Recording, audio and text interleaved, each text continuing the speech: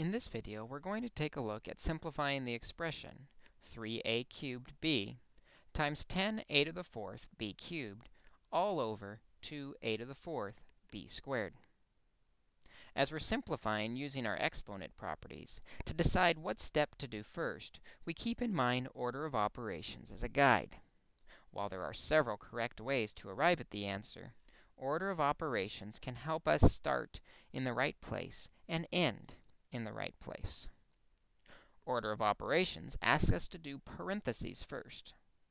And while there are no obvious parentheses on this problem, we remember whenever we see a fraction, there's an invisible set of parentheses around the numerator and denominator, suggesting we should simplify completely the numerator and denominator first before we worry about the fraction. In the numerator, we can multiply the 3 times 10 to get 30. When we get to the a's, since we have two bases multiplied together, the product rule tells us to add the exponents, giving us a to the 4 plus 3, or a to the 7th. Similarly, with the b's, b to the first, because if there's no exponent written, we assume there's a 1, plus b cubed, or times b cubed, adding the exponents 1 plus 3, gives us 4. In the denominator, there's no simplifying available, so we have 2a to the fourth b squared.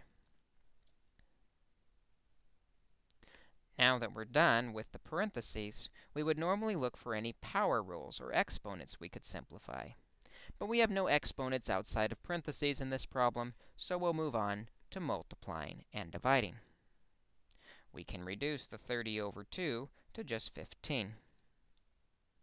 For the a's, the quotient rule of exponents tells us to subtract the exponents. We have 7a's, with 4 of them dividing out, gives us 7 minus 4, or a to the third left over. Similarly, with the b's, b to the fourth over b squared leaves us with b squared as we subtract the exponents 4 minus 2 to get 2. Our final answer is 15a cubed b squared. We know we are done because each variable appears only once in our final solution.